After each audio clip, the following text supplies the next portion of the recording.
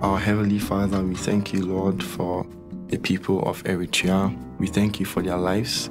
We pray, committing them into your hands. Father, Lord, we pray for the peace in Eritrea. We pray for the establishment of peace between the people of Eritrea and Ethiopia because there has been war over the years. We pray that, Lord, you yourself would descend onto the land and establish peace in those areas.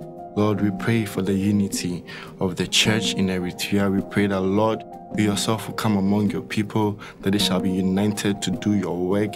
We pray that you give them the discernment, you give them the utterance to do your work in everywhere they go, to be able to take your word further and further to places that people will hear your word and repent in the name of Jesus, Lord, we pray for the young pastors who are being persecuted in Eritrea. We pray that you give them liberty. Your Holy Spirit will lead them, will direct them into all things in all truth. In the name of Jesus, we pray that, Lord, give them the strength to go ahead and continue to do your work. We pray that, Lord, you yourself will grant them the strength to be able to go all out for you in the name of Jesus. We pray for your spirit to come as never before unto the people in the land of Eritrea, that there shall be repentance and there shall be righteousness.